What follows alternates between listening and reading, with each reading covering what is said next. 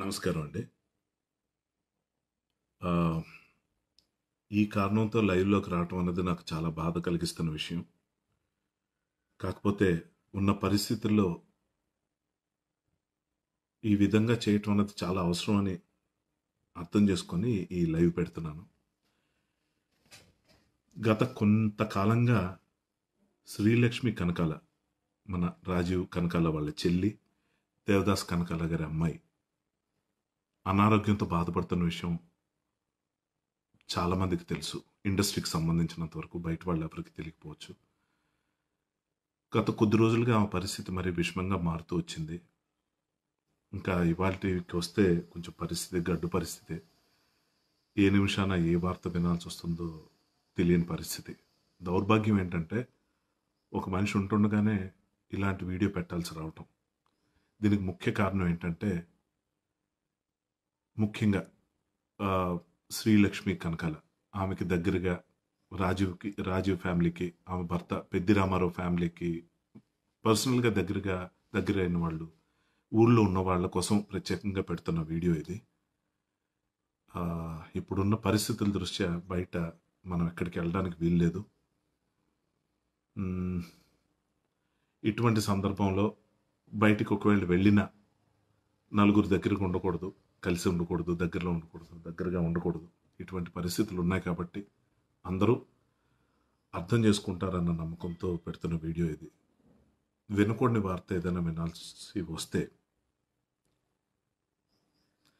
మన అందరం చాలా ఎమోషన్స్‌కి గురవుతామండి. ఎందుకంటే మనుషులం అందరం ఇంతే. మనకున్న పరిచయం, మనకున్న జ్ఞాపకాలు అవన్నీ గుర్తొచ్చి ఇవాళ మనిషి గురించి ఏదైనా వినకూడనిది వింటే అది ఎంత బాధ కలిగిస్తుందో ఖచ్చితంగా నాకు తెలుసు. అందరికీ అర్థమవుతుంది. కాకపోతే వెళ్ళకూడదండి. ఇప్పుడు పరిస్థితి అది. ఇటువంటి ఇంత ఘోరమైన పరిస్థితి నాకు తెలిసి ఇప్పటిదాకా ఎక్కడ వినలేదు, చదవలేదు, చూడలేదు కూడా.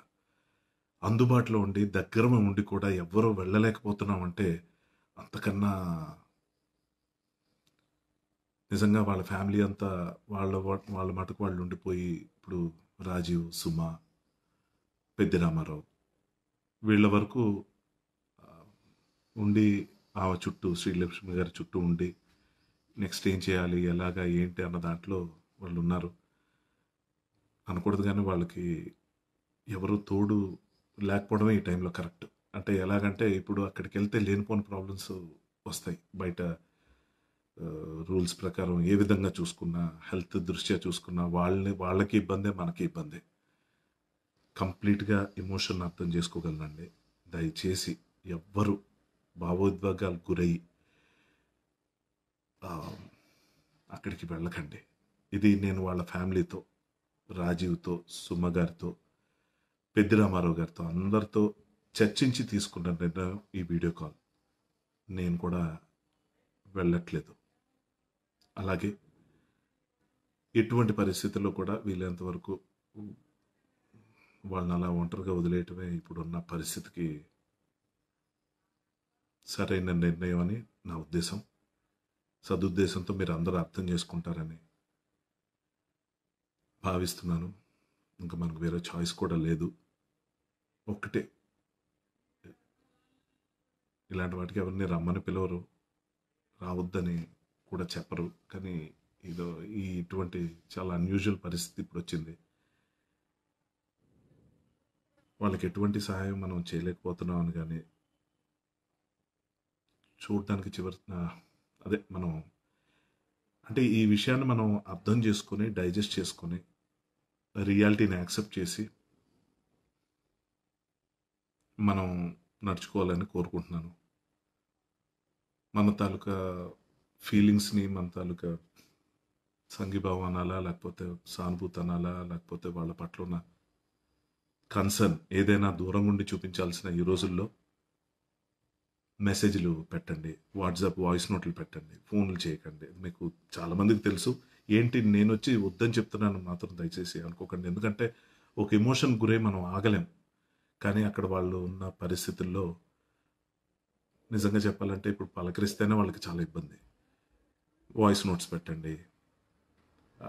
తర్వాత ఫోన్లు చేయండి. ఒక కొద్ది రోజుల తర్వాత. చాలా దౌర్భాగ్యం ఏంటంటే ఎప్పుడు ఎలా ఉంటుందో తెలీదు. ఇలాంటి వీడియో పెట్టాల్సి వస్తుంది. నా వరకు నేను ప్రాక్టికల్గా ఎప్పటికప్పుడు అప్డేట్ ఉన్న వ్యక్తిగా చెప్తున్నాను. వాళ్ళ కుటుంబం అంత ధైర్యంగా ఉండాలని వాళ్ళకి ధైర్యాన్ని అంతకన్నా ఎక్కువ అంతకన్నా ఎక్కువ నేను కోరుకుంటుంది ఏంటంటే శ్రీలక్ష్మికి నొప్పి ఎక్కువ ఉండకూడదని కోరుకోవడం తప్ప నేను చేయగలిగింది ఏం లేదు. మీ వల్ల ఏదైనా అయితే మీ నమ్మకాలని మీ నమ్మకాలకు అనుగుణంగా దేవుణ్ణి ప్రార్థిస్తారో కోరుకుంటారో వేడుకుంటారో ఏం చేస్తారో కానీ వీలైనంత తక్కువ నొప్పితో అంతేనండి వెళ్ళకండి. అంతే.